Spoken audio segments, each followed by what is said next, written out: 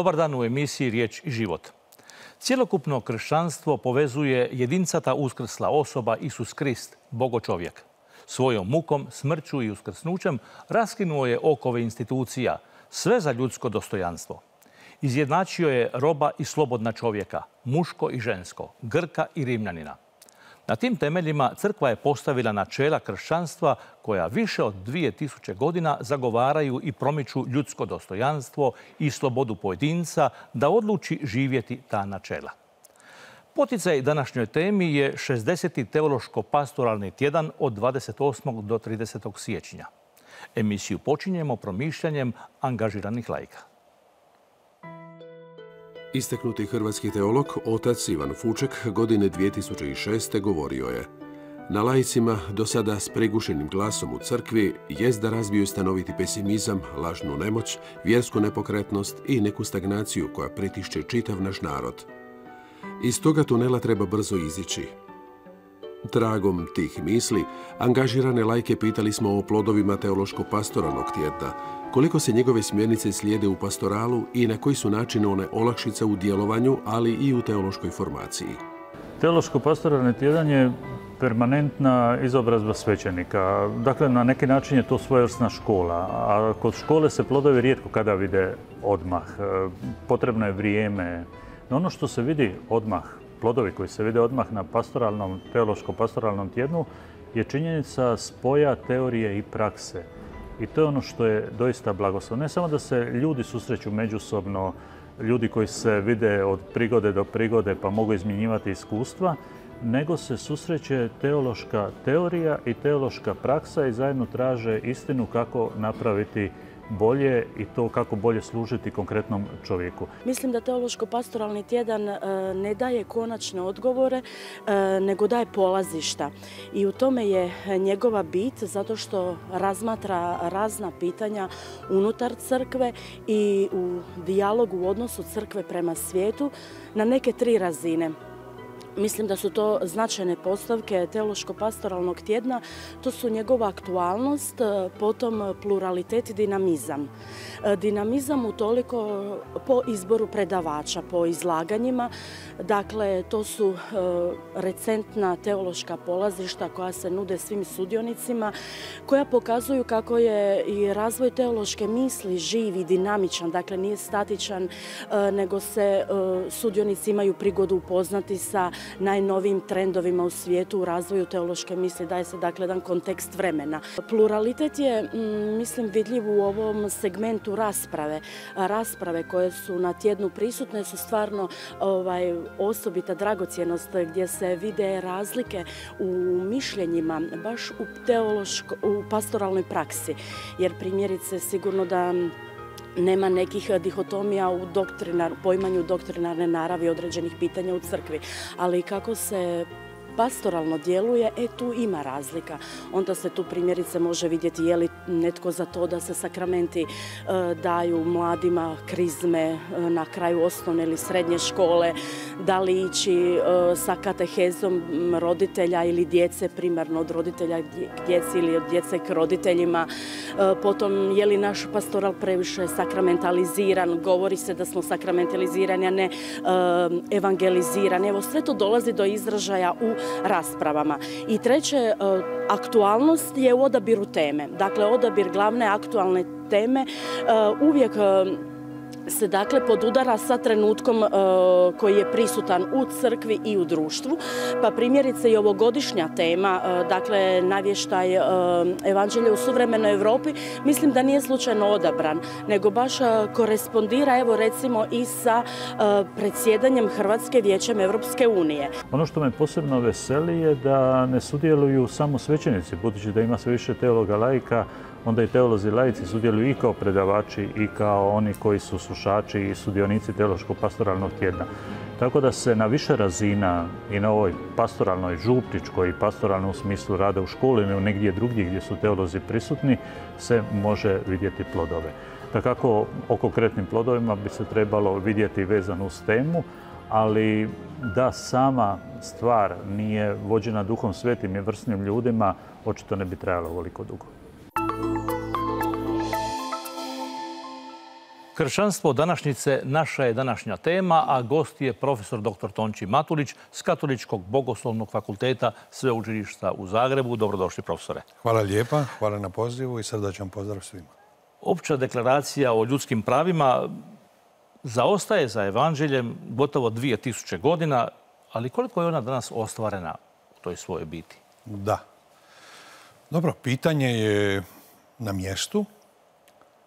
E, budući da je opća deklaracija o ljudskim pravima Ujedinjenih naroda sa datumom 10. prosinca 1948. kada je usvojena kroz rezoluciju e, Ujedinjenih naroda e, kao takva i u tom smislu se može govoriti o tih skoro 2000 godina zaostatka za evanđeljem. Vaše pitanje sugerira zar nije sve što piše u općoj deklaraciji o ljudskim pravima, univerzalnoj deklaraciji, sadržano već u evanđelju. Možemo reći da e, smisao, istina, e, poruka je itekako sadržana. To za kršćanskog vjernika e, vrijedi kao što je kao istina. E sad, koliko je ona u svojoj biti ostvarena kao jedan pokušaj u modernog doba da se cjelokupno čovječanstvo, sve države svijeta, svi narodi svijeta okupe oko jednog zajedničkog temeljnog e, konstituirajućeg teksta. Tekst koji pred sobom proklamira temeljna ljudska prava i slobode. Ovaj, koliko je ono ostvareno, vidimo da postoje doista e, e, različita ostvarenja u različitim dijelovima svijeta. Evo, ako promatramo naš zapadni svijet, naš zapadni kulturni krug, onda nesumnjivo možemo reći da postoji daleko veće ostvarenje onoga što je sadržaj ove opće deklaracije. To iz jednostavnog razloga što to možemo povezati da je taj kulturni krug kršćanski, da je puno više bio pod utjecajem kršćanstva i djelovanja crkve i da tu postoji daleko snažnija svijest o ljudskim pravima i slobodama, o ljudskom dostojanstvu, o potrebi da se čovjeka štiti od samog početka njegova postojanja pa do kraja. E, I postoje dijelovi u svijetu, nažalost, koji još uvijek nisu ovaj, e, u tom pogledu odmaknuli daleko, gdje se još uvijek ljudska prava i slobode gaze, krše, ne priznaju, time se vrijeđa ljudsko dostojanstvo. Dakle, ima još puno posla. E, evanđelje je temelj svih ljudskih prava. E sad je pitanje koliko je ono i na koji način implementirano u te suvremene deklaracije, u zakone? E, direktno ne. Direktno e, evanđelje ne vidimo da je direktno implementirano u takve dokumente. Ono je, naravno, može se govoriti i raspravljati koliko i u kojoj mjeri je indirektno implementirano. Ja ću ovdje spomenuti samo jednu E, mogućnost te rasprave, a to je uloge pojedinih e, autora ili pojedinih sudionika izrade ponajprije nacrta prijedloga, pa na koncu i samog konačnog prijedloga Univerzalne deklaracije o ljudskim pravima. Spomenut ću francuskog neskriveno katoličkog filozofa Žaka Maritena, koji nije bio direktno u radnoj skupini za izradu, ali čiji duh, čija filozofija, čiji pogled na ljudska prava čiji pogled na čovjeka, čiji pogled na društvo, na politiku, na međunarodnu zajednicu su naravno i tekako snažno utjecali na e, draftiranje i konačno oblikovanje izričaja tih takozvanih temeljnih ljudskih prava i sloboda koje Univerzalna deklaracija proklamira. Evo, indirektnim putem da mi dolazimo do toga kako razumijemo čovjeka, na koji način razumijemo e, njegovo dostojanstvo, na koji način razumijemo njegovo ishodište, njegov odakle dolazi, njegovo dolazište, kamo ide i na temelju tih temeljnih e, istina o čovjeku mi zapravo onda skandiramo i izražavamo e, ta temeljna prava i slobode. I nesumnjivo da univerzalna deklaracija to je čak i njegova glasovita izjava Žaka Maritena vezano za univerzalnu deklaraciju o ljudskim pravima. Kaže, to da su se svi narodi, sve države svijeta, njih mislim da je bilo 58, tada složile oko ovih temeljnih e, načela o ljudskim pravima i slobodama, to je velika stvar. I to je činjenica. No, nemojte pitati zašto su se složili. Jer zašto podrazumijeva početak rasprave. E, ako počnemo o tome raspravljati, onda ćemo nesumnjivo nailaziti na nesporazume, na nesuglasice, na polemike, a to moramo sada izbjeći. E, vi ste moralni teolog. E, čuje se često pitanje voliš ili ne voliš. E, pitanje je sada moje, može li se evanđelje uokviriti? Ne može se evanđelje uokviriti. Odnosno, ljubav može li se uokviriti? ne može. Evanđelje da kako savršeno postoji samo u jednome, a to je u osobi Isusa Krista, koga ste vi autentično u uvodu oslovili Bogo čovjek Isus Krist, pravi Bog i pravi čovjek. Evo, on je savršeno evanđelje. U njemu evanđelje u svoj svojoj istini, u svoj svojoj punini, u svojim svojoj raskoši, vječne i vremenite istine postoji.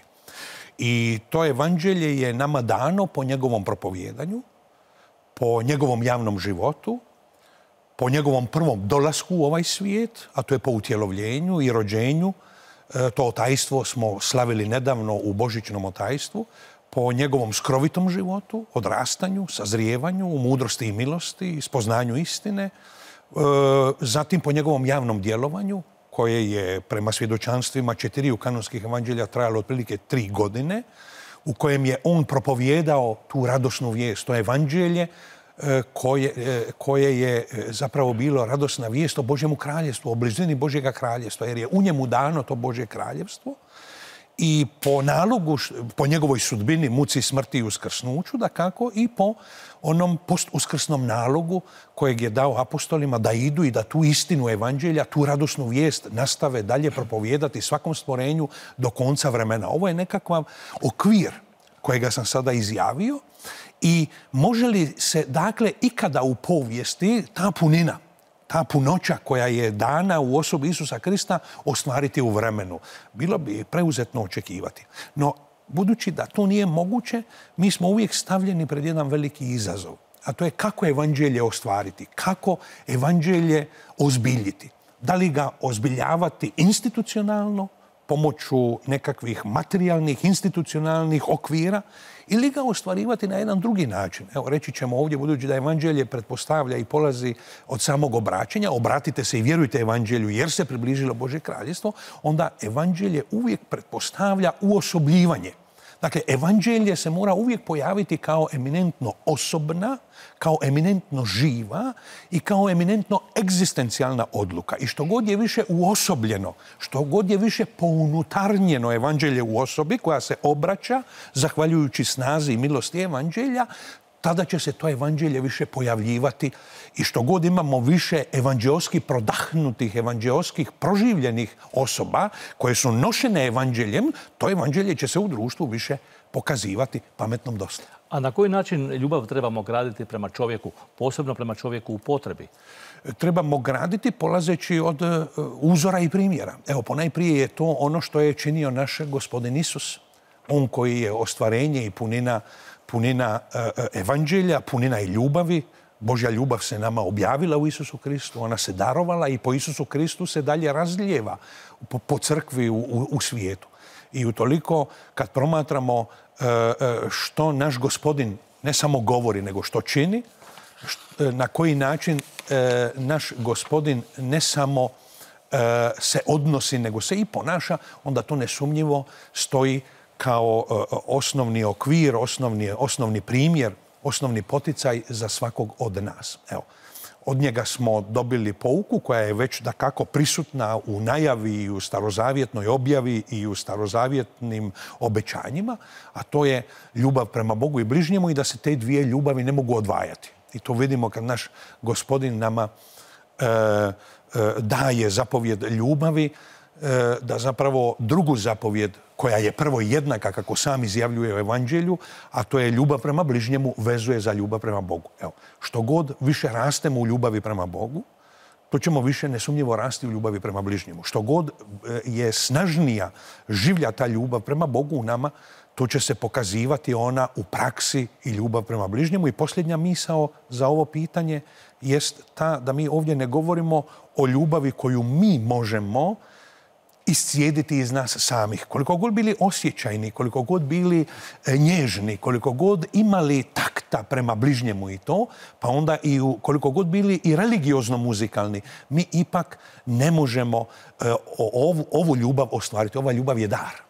To je Boži dar i to je milost, to je duh sveti u nama i prema tome ono što sam rekao pretpostavlja vjeru, pretpostavlja otvorenost Božjem poticaju, pretpostavlja otvorenost e, obraćenju evanđelja. A kako komentirate to što se kršansku riječ ljubav nekako pokušava nadomjestiti riječima e, kompenzacija, tolerancija, solidarnost? Da. E, Jer to možda oskvrnjuje tu bezuvjetnu ljubav prema čovjeku? To samo... Ako, ako ove pojmove koje koristimo, kao što recimo gledamo u načelima socijalnog nauka crkve, nesumnjivo da sva načela socijalnog nauka crkve, jedno od temeljnih solidarnost, nosi u sebi i tekako nadahnuće ljubav. I ukoliko ta solidarnost nije prodahnuta ljubavlju, ljubavlju prema bližnjemu najprije, koja se temelji na ljubavi prema Bogu, jer ta solidarnost govori o tome da je jedan ljudski rod, da su sva ljudska bića braća i sestre, da tvore jednu obitelj. Zašto? Zato jer im je zajednički e, otac na nebu, jer imaju jednog oca, imaju zajedničko podrijetlo, zato jer su dobili milost e, zajedničkog otkupljenja. A to je da smo u Isusu Kristu svi otkupljeni, svi ljudi su dobili mogućnost u Isusu Kristu susresti se s Bogom, pomiriti se s Bogom i zadobiti, zadobiti milost vječnog života ako je to sadržaj solidarnosti, onda vidite da zapravo tu solidarnost nosi ljubav, da je ona sva nadahnuta ljubavlju. Prema tome, nije zabranjeno, naprotiv. To je poticajno. To govori, s druge strane, o veličini dara ljubavi, o bogatstvu dara ljubavi, da se ona može sama izražavati na milijun mali način, a da je nikad nismo do kraja izrekli i iscrpli. I utoliko, rekao bih, nije zabranjeno e, e, kršćansku ljubav, u pravom smislu riječi kršćansku ljubav, kao agape, kao darovanu ljubav, kao nezainteresiranu, bezinteresnu ljubav, pardon, nije zabranjeno e, e, unositi je kao nadahnuće i u druge pojmove. I drugim pojmovima pokušavati se približavati današnjem čovjeku. To je jedna solidarnost, to je briga za zajedničko dobro, to je subsidijarnost notabene, to je pitanje sigurnosti, pitanje odnosa prema okolišu. Dakle, to su sve prostori e, unutar kojih i pojmovi, unutar kojih mi možemo unositi nadahnuće ljubavi, a da još uvijek ljubav ostaje u drugom plan kao pojam, ali je kao sadržaj istaknuta upravo kroz te pojmove. Naša je tema kršćanstvo današnjice, a danas smo svjedoci i migracija.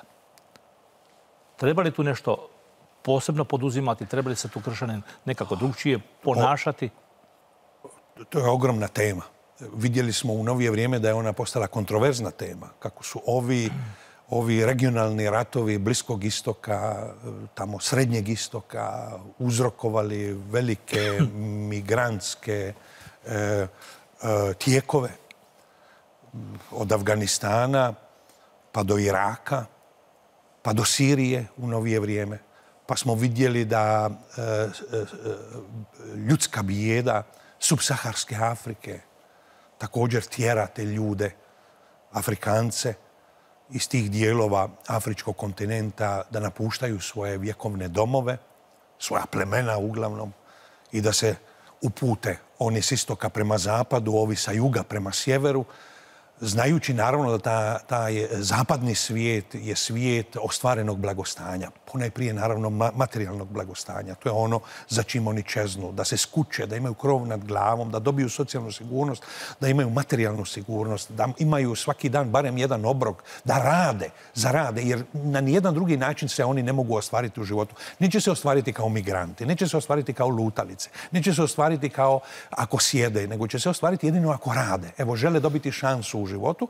I naravno, taj zapadni svijet koji nije samo smješten u zapadnoj hemisferi, koji se protegnuo i na mnoge druge dijelove svijeta, ali je najnapredniji svijet. Svijet koji pruža blagostanje, ponajprije mislim na materijalno blagostanje, ekonomsko blagostanje, evo, e, djeluje kao magnet kao e, jedna, jedna velika atrakcija, nešto što privlači te, te, te migrante i to.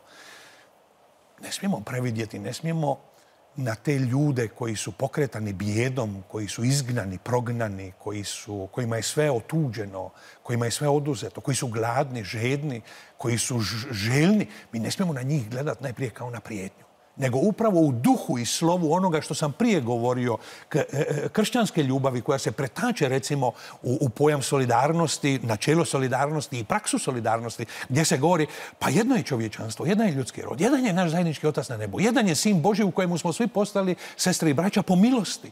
Evo, tu upravo moramo danas osluhnuti napose Papu Franju koji na jedan drugačiji način, kad kada mnogima to zvuči iritantno način, ali, ali iritantno evanđelski način bih se usudio reći, inzistira na tome da moramo biti otvoreni migrantima, moramo biti susretljivi prema njima. Naravno, ne smijemo ugrožavati ni vlastitu sigurnost, jer imamo i mi kod kuće djecu i mlade koji trebaju sigurnost, koji trebaju redovitost života. Dakle, ne možemo napraviti kaos ne možemo dopustiti da zavlada kaos. Mi moramo se još uvijek držati reda, zakona, pravila, sigurnosti.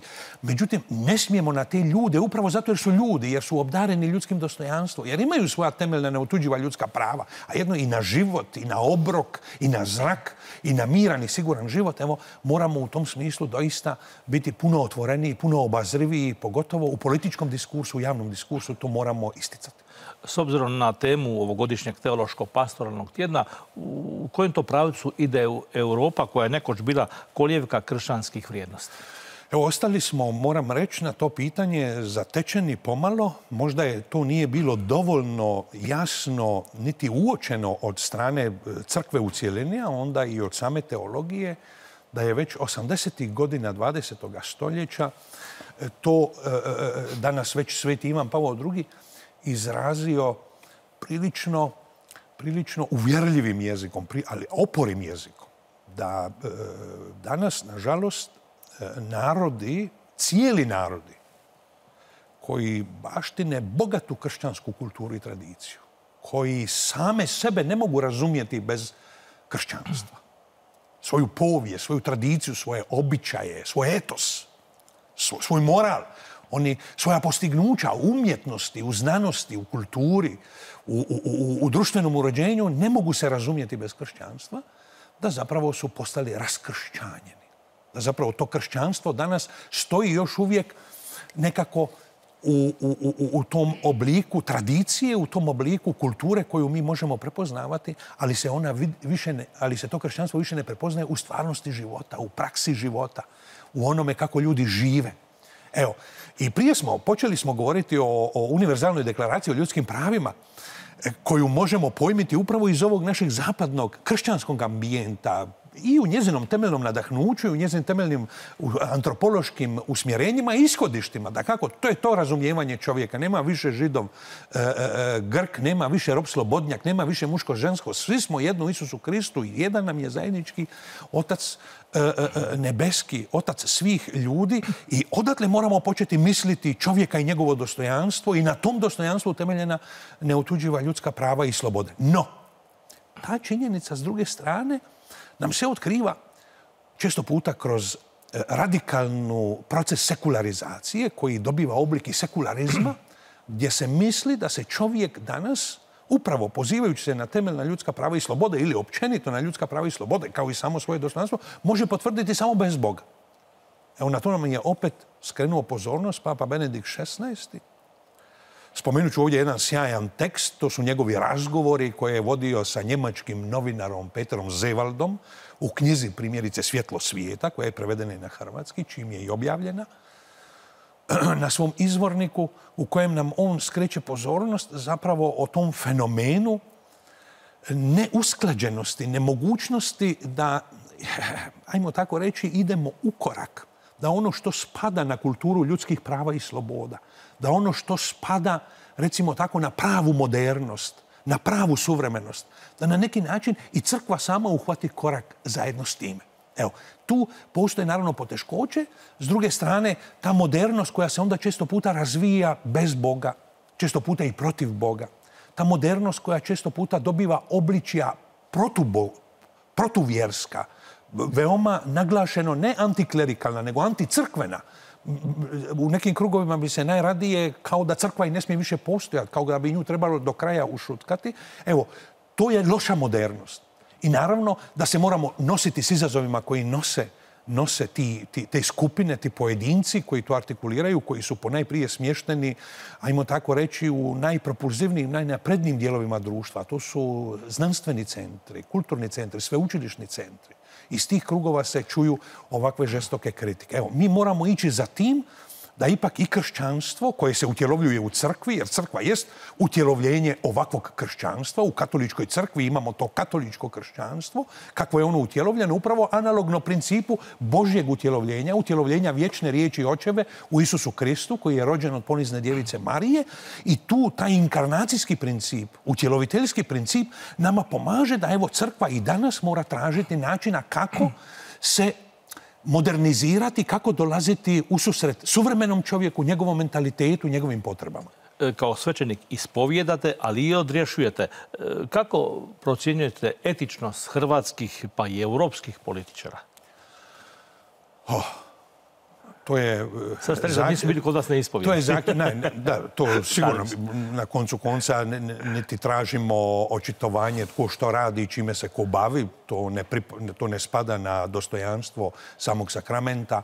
Prema tome, tko se zateka u ispovjedaonici, što ko živi, radi u životu, ako nije nužno skopčano sa određenjem težine grijeha i vrste grijeha, to se ne pita i to uopće nije, nije sadržaj ispovjedino. No, mogu općenito govoriti o tome. Evo, ako mi se vratimo na hrvatsku političku zbilju, ako se vratimo na ono što smo mogli gledati do sada od naših takozvanih hrvatskih političkih elita i to, e, onda su im uglavnom brkovi masni onda su im uglavnom prsti prljavi od meda i pekmeza. Onda se vidi tu da postoji jedna velika poteškoća da angažman u politici koji je častan, koji je nužan, moramo imati ljude koji su spremni angažirati se e, u politici, jer politika je briga za zajedničko dobro, za opće dobro, e, e, raditi na tome da svi imamo dobrobit i korist od toga, to je nešto časno izvišeno. Nažalost, vidimo da je to nekima postalo zvanje. To nije zvanje, to je odvojiti jedan dio svog života, odvojiti jedan dio svojih energija, svojih sposobnosti i staviti ih u službu zajedničkoga. Dakle, to ne možeš cijeli život se baviti politikom, moguće je i to, ali to stavlja ozbiljno u pitanje e, tebe Čime se ti u životu inače baviš? Što je tvoja struka? Što je tvoja sposobnost? Gdje je tvoje radno mjesto? Gdje je tvoja služba? Gdje ti zapravo radiš i radom sebe usavršavaš, osim što si došao, dohvatio si se saborske govornice i posve dane i noći pričaš i pričaš, prodaješ svoje tajne, prodaješ svoje teorije. Ja pitam te, koju si ti suvislu knjigu pročitao? Što si ti u međuvremenu učinio korisnoga? Na temelju kojih to tvojih osobnih postignuća kao djelatne osobe, kao kompetentne osobe mi možemo zaključivati da to što ti govoriš u teoriji možeš pokriti i nekakvom praksom, možeš pokriti i nekim dijelima. Evo, to pokazuje doista jednu, jednu kulturu kod nas, notabene, mi se nepunih 30 godina razvijamo kao demokratsko društvo, za razliku od mnogih drugih naprednih demokratskih zemalja koji se razvijaju i puno duže, i duplo i troduplo duže. I utoliko možemo reći ovo su neke početne bolesti. No, ali evo, rekao bih da ima prostora poboljšanja. Evo. Profesor, hvala vam lijepa. Očito imali ste još nešto kazati, ali evo, hvala, vam lijepa za ovo gostovanje. Hvala vam. Hvala i vama, poštovani gledatelji.